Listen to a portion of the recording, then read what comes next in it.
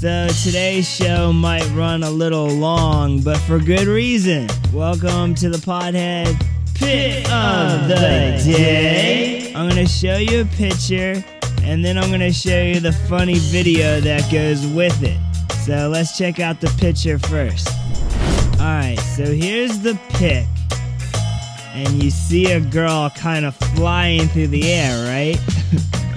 well, let's show you some of the video so this picture makes sense. Alright, so you got this plane, and it's on the runway and it's about to take off.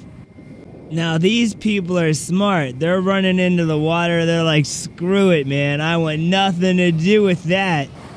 So then the jets really start picking up and there's sand blowing everywhere and these people are holding on to the fence. The dude's like, screw this, man. The girl's like, I can do it. Oh, and then BAM!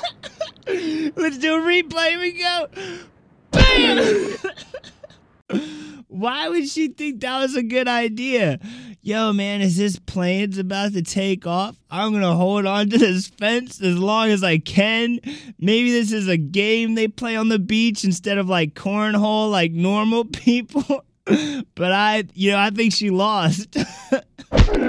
Check out Pure Virtue Glass, man. Word on the street is they have a big sale going down on 420. If you want details, you gotta go to the website, purevirtueglass.com. Don't miss out. Okay, bye.